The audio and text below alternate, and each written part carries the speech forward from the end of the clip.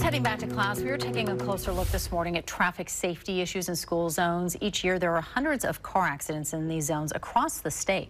Our investigative team sifted through the data and found that Oregon's most dangerous zone is right here in the metro area. And Fox 12 investigative reporter Ezra Kaplan is here to walk us through that report. Ezra. Yeah, you know, while we spend a lot of time and attention on keeping students safe at school, keeping them safe on the way to school is just as important.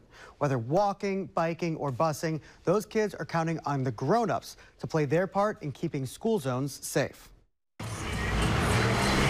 Sitting in the student drop-off line, there's one thing at the top of nearly every parent's mind. And the safety concerns start before the kids even get to school. Every year, there are hundreds of car accidents in school zones across Oregon. Our team analyzed five years of data from 2018 to 2022. There were more than a thousand accidents with 843 injuries and five deaths during that time. We took all that information and we mapped it according to school zone district.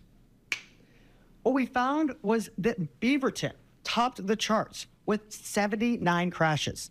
That's more than twice as many as Portland right next door. I took our findings to Leah Beato, who runs the Safe Routes to School program for Beaverton School District. Do you have any sense of why that might be? I don't really have an answer as to the why.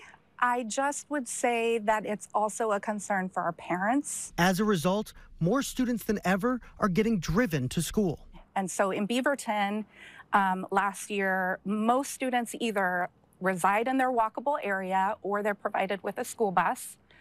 Yet we see about 35% of kids are driven in a single car trip to school. She says it's creating an unfortunate cycle. The more cars on the road, the more crashes there are. And the more crashes there are, the less safe the roads feel for walking or biking.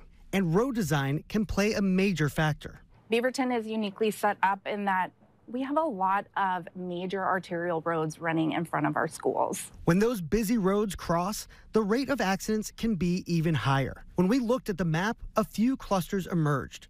Most notably, around Aloha High School, which sits at the intersection of Southwest Kinnaman Road and 185th Avenue. However, we don't get a lot of parent complaints around that area. I don't know if it's because it's surrounding a high school and we tend to not hear as much from high school parents as we do with our younger students. The Washington County Sheriff's Department, on the other hand, is well aware of the dangerous intersection. If I look at our heat map for all of the traffic stops and crashes and what have you all around the county, that area has a bigger glow, if you will. Sergeant John Wilson leads the traffic division and pulled some of his own data to compare to ours. For that five year period, our office did I think over uh, cl close to 1,500 traffic stops in that area. I mean, there's really? a lot of enforcement in that area over a five-year period. He points to the sometimes confusing road design in the area as a reason for the cluster. But he says a lot of the blame rightly falls on the drivers. When COVID first hit and the roads were just empty yep. and, and we saw that huge increase in reckless driving behavior and really dangerous driving behaviors, those behaviors haven't subsided at the same rate. He says the number one behavior putting student safety in jeopardy is speeding. That's why his officers will be out and visible around schools as kids return to class. And just making the presence and letting everybody know, hey, school's coming back in session. Kind of a reminder that, yeah. that you guys are there. Yep, it's time to slow down. Uh, if, if you haven't been in the, you know, it's, it's going to be 20 miles an hour again in this area.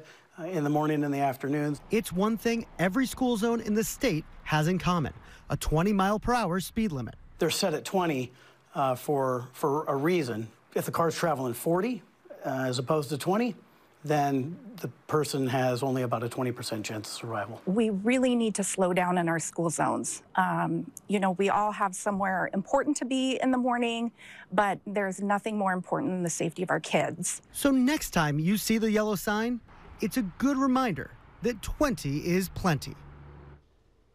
And while Beaverton topped the list, McMinnville, Bend-La Pine, Salem Kaiser, and Medford school districts all made it into the top five for the number of school zone accidents. Portland Public Schools wasn't even in the top 10. If you want to learn more about the crash data for your school district, head over to kptv.com where we have an interactive map loaded with all the data for every district in the state. Very interesting, Ezra. Talk to us about high school school zones. Is there something Yeah. to be said for the newer drivers? Joe and I were just just talking about this. Yeah. His daughter. Today is my daughter's first day Yeah. of Oh, driving boy. to her high school. And you know, and that's a really big deal. It's one of the reasons we saw some of these clusters around high schools is that those drivers are less experienced, Yeah. right? They maybe are just getting their licenses.